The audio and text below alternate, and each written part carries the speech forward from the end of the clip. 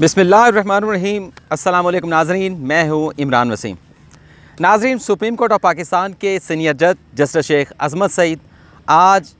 Supreme court کے جج کے عہدے سے ریٹائرڈ ہو جائیں گے. اس ویڈیو میں ہم آپ کو یہ بتائیں گے کہ جسٹس شیخ عظمت سعید، جنہوں نے شریف خاندان کو سسیلین مافیا کہا تھا، اس کے پیچھے وجہ کیا تھی؟ وہ کیا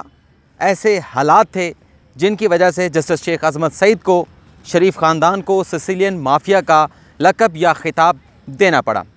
اس کے علاوہ اس ویڈیو میں آپ کو یہ بھی بتایا جائے گا کہ جسٹس شیخ عظمت سعید جب سے سپریم کورٹ آف پاکستان کے جج بنے ہیں، دو ہزار بارہ میں وہ supreme court of supreme court of Pakistan کے جج بنے تھے۔ تو ان کی جانب سے تارکین وطن کو، اوورسیز پاکستانیوں کو کیا تحفہ دیا گیا۔ اس کے علاوہ اس ویڈیو میں ہم جسٹس شیخ عظمت سعید کے جو تاریخی فیصلے ہیں، جو انہوں نے بطور جج سپریم کورٹ آف پاکستان صادر کیے، ان کے اوپر بھی بات کریں گے۔ تو سب سے پہلے آپ کو بتاتے ہیں کہ جسٹس شیخ عظمت سعید، جنہوں نے پناما کیس کی سماعت کے دوران جب جے آئی ٹی نواز شریف اور شریف خاندان کے خلاف پناما لیکس معاملے کے اوپر، پناما سکینڈل کے اوپر تحقیقات کر رہی تھیں اور جے آئی ٹی کی رپورٹ جو ہے وہ تین رکنی عمل درآمد بینچ کے سامنے پیش کی جا رہی تھیں اور تین رکنی بینچ جس کی سربراہی جسٹس اجاز اجاز افضل کر رہے تھے، اس میں جسٹس شیخ عظمت سعید اور اجاز الاحسن شامل تھے۔ تو ایک رپورٹ جو ہے وہ، جو پندرہ روزہ رپورٹ جے آئی ٹی کی جانب سے پیش کی جاتی تھی، وہ پیش کی جا رہی تھی۔ تو اس دوران جسٹس شیخ عظمت سعید جو ہے وہ کافی برہم ہوئے۔ اٹارنی جنرل آف پاکستان اس وقت کے جو کہ نون لیگ کے اپوائنٹی تھے اشتر اور صاف صاحب۔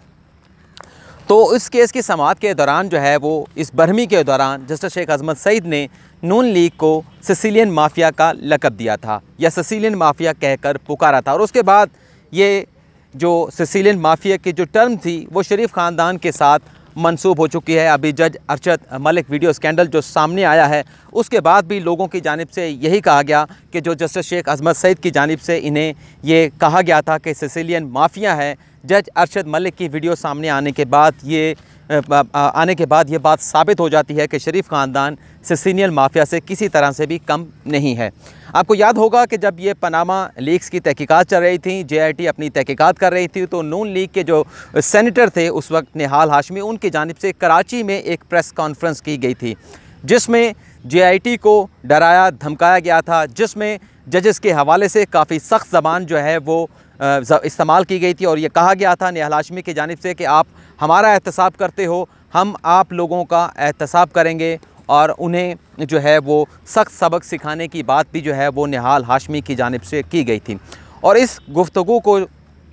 کے اوپر سپریم کورٹ آف پاکستان نے نوٹس لیا تھا اور یہ گفتگو نہال ہاشمی کی جب عمل درآمد بینچ، پناما عمل درآمد بینچ کے نوٹس میں آئی تھی تو اشتر اصاف کو مخاطب کرتے ہوئے جسٹس شیخ عظمت سعید نے کہا تھا کہ آپ کی جماعت کو مبارک ہو، آپ کے حکمرانوں کو، آپ کے وزیر اعظم کو یہ مبارک ہو کہ وہ سسیلین مافیا کا جو ہے وہ حصہ بن گئے ہیں۔ اب بات یہ ہے کہ اس کے پیچھے بیک گراؤنڈ کیا تھا۔ ناظرین، آپ کو معلوم ہوگا کہ جسٹس شیخ عظمت سعید ان کی جانب سے اکیسویں ترمیم کا جو مقدمہ تھا، جس کے اندر ایشو جو تھا وہ فوجی عدالتوں کا تھا۔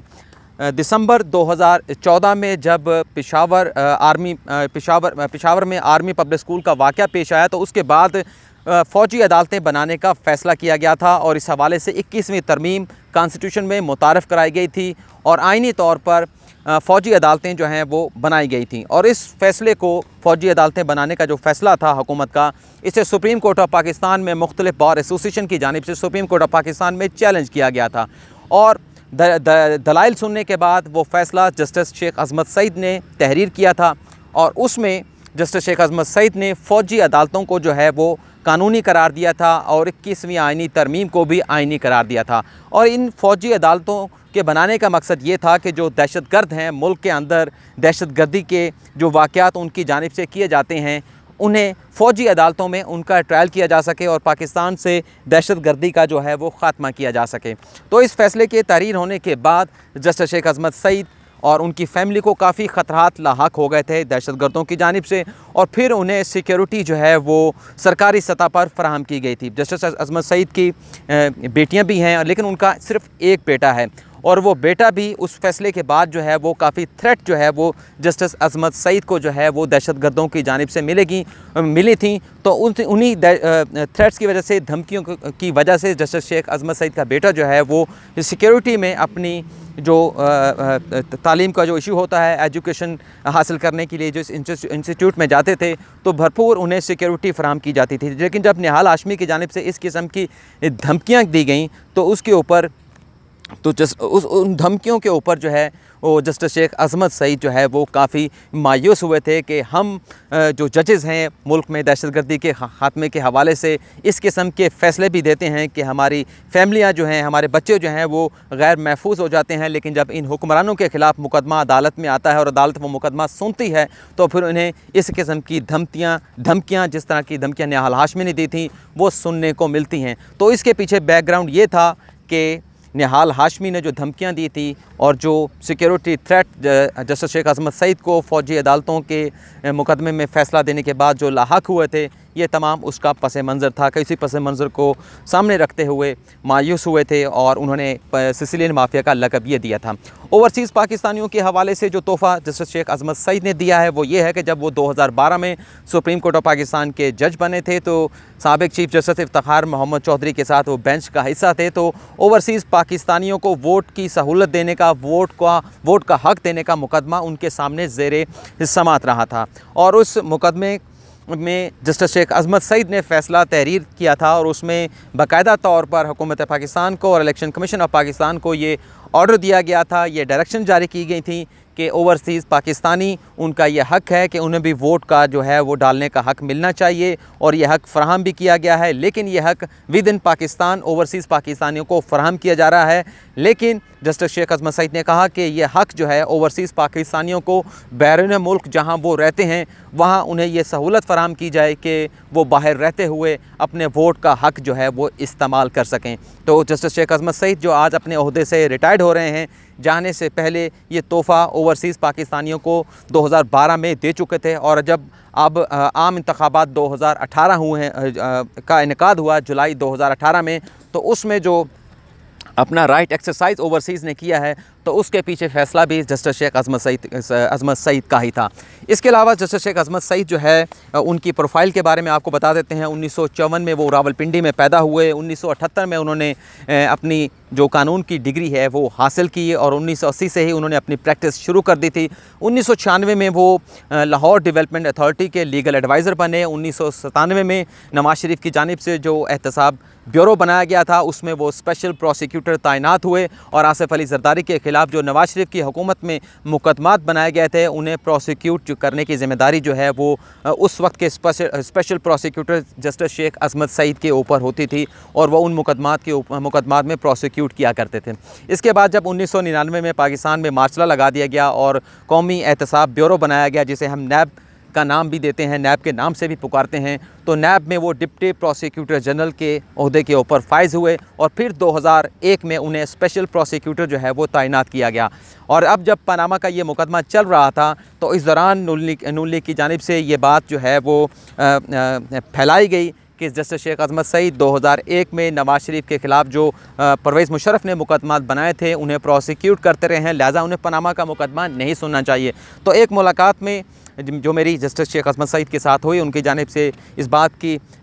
کو کلیئر کیا گیا کہ وہ کبھی بھی نواز شریف کے مقدمات میں جو ہے وہ پروسیکیوٹر کی ذمہ داریاں سر انجام نہیں دیتے رہے۔ جب وہ دو ہزار ایک میں پروسیکیوٹر بنے تھے، تو ان کے اوپر صرف ذمہ داری جو ہے وہ یہی تھی کہ نیب کے مقدمات کی وہ مانیٹرنگ کرتے تھے اور وہ ود ان ہیڈ کوارٹر جو ہے وہ اپنی ذمہ داریاں جو ہے وہ سر انجام دیتے تھے۔ لیکن ان کا یہ کہنا تھا کہ آصف علی زرداری کے مقدمات کو وہ ضرور پروسیکیوٹ کرتے رہے ہیں، یہ انہوں نے ایڈمٹ کیا تھا۔ اس کے علاوہ وہ دو ہزار پانچ میں جو ہے وہ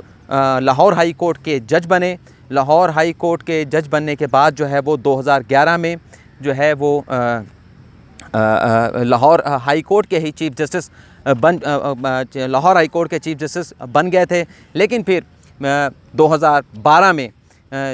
تقریباً کوئی سات، آٹھ مہینے جو ہے وہ chief justice Lahore high court رہنے کے بعد جو ہے وہ سپریم کورٹ میں ایلیویٹ ہوئے۔ اور پھر آج ستائیس اگست دو ہزار انیس کو وہ اپنی ذمہ داریوں سے سر انجام اپنی ذمہ داریوں سے جو ہے وہ ریٹائرڈ ہو رہے ہیں۔ اپنے روپ جو ہے، جو ایک جج کا پہنایا جاتا ہے جج بننے کے بعد آج وہ اتار دیں گے اور کل جسٹس شیخ عظمت سعید جو ہے وہ اپنی چھیاسٹھویں سال کی کی سالگرہ جو ہے وہ منائیں گے۔ جسٹس شیخ عظمت سعید کے دو فیصلوں کا میں نے پہلے ذکر کر دیا کہ فوجی عدالتوں کے حوالے سے بھی انہوں نے فیصلہ سنایا تھا۔ اوورسیز پاکستانیوں کو ووٹ کی سہولت دینے کا مقدمہ کا فیصلہ بھی ان کی جانب سے سنایا گیا تھا۔ لیکن اس کے ساتھ ساتھ ان کی جانب سے اور بھی بہت سے ایسے مقدمہ مقدمات ہیں جو ان مقدمات ہیں جن میں انہوں نے فیصلے صادر کیے۔ پاناما کیس میں ان کی جانب سے نواز شریف کو بیس اپریل دو ہزار سترہ کو جب پہلا فیز پیناما کا تھا تو انہوں نے نواز شریف کو نااہل نہیں کیا تھا، بلکہ نواز شریف کے معاملے کے اوپر مزید تحقیقات کے لیے جے آئی ٹی بنانے کا حکم دیا تھا اور اس حکم کے حکم میں ان کے ساتھ جسٹس اجاز افضل اور جسٹس اجاز الحسن بھی شامل تھے، لیکن جسٹس آصف سعید کھوسا اور گلزار احمد نے نواز شریف کو نااہل قرار دیا تھا اور جے آئی ٹی کے فیصلے کے اوپر کافی انہیں سخت تنقید کا سامنا بھی جو ہے وہ کرنا پڑا تھا کہ انہوں نے جسٹس شیخ عظمت سعید نے دیگر دو ججز جس میں آصف سعید کھوسا اور جسٹس گلزار شامل تھے، ان کی طرح نواز شریف کو نااہل نہیں قرار دیا۔ لیکن جب جے آئی ٹی کی رپورٹ آ گئی تو پھر ان تین ججز نے بھی جو ہے وہ نواز شریف کو جو ہے وہ نااہل قرار دیا۔ اس کے بعد پھر آرٹیکل باسٹھ ون ایف کی تشریح کا مقدمہ جب سپریم کورٹ میں آیا تو اس مقدمے کی تشریح کرتے ہوئے بھی جسٹس شیخ عظمت سعید نے جو ہے یہ قرار دیا کہ آرٹیکل باسٹھ ون ایف کے تحت جو پارلیمنٹیرین بھی نااہل ہوگا وہ تاحیات سیاست سے نااہل ہو جائے گا۔ اور اس فیصلے کا افیکٹ یہ ہوا کہ جہانگیر ترین اور نواز شریف جو ہے وہ سیاست سے تاحیات نااہل ہو گئے۔ اس کے علاوہ اورنج لائن ٹرین کا مقدمہ بھی جسٹس شیخ عظمت سعید نے سنا، اس میں بھی انہوں نے فیصلہ دیا۔ لیکن ایک ایک اور اہم مقدمہ بھی ہے ریکوڈک کا مقدمہ، جس میں انٹرنیشنل جو کورٹ ہے، اس میں پاکستان کو کافی بھاری جرمانہ بھی کیا گیا ہے اور جو کمپنی تھی ٹی تھیان اس کے ساتھ ایگریمنٹ کو کلعدم قرار دیا گیا تھا۔ اس بینچ کا جو اس بینچ نے جس بینچ نے یہ فیصلہ سنایا تھا جو جس کو ہیڈ جو ہے وہ سابق چیف جسٹس افتخار محمد چودھری کر رہے تھے، تو اس بینچ کا حصہ بھی جو ہے وہ جسٹس شیخ عظمت سعید تھے، جنہوں نے ریکوڈیک کا جو معاہدہ بلوچستان حکومت سے ہوا تھا، اسے کلعدم قرار دیا تھا۔ لیکن آج جسٹس شیخ عظمت سعید تقریباً چودہ، پندرہ سال سے زیادہ جو ہے وہ بطور جج اپنی ذمہ داریاں سر انجام دینے کے بعد منصف کے عہدے سے جو ہے وہ ریٹائرڈ ہو رہے ہیں۔ اس ویڈیو میں اتنا ہی۔ اجازت دیجیے اللہ حافظ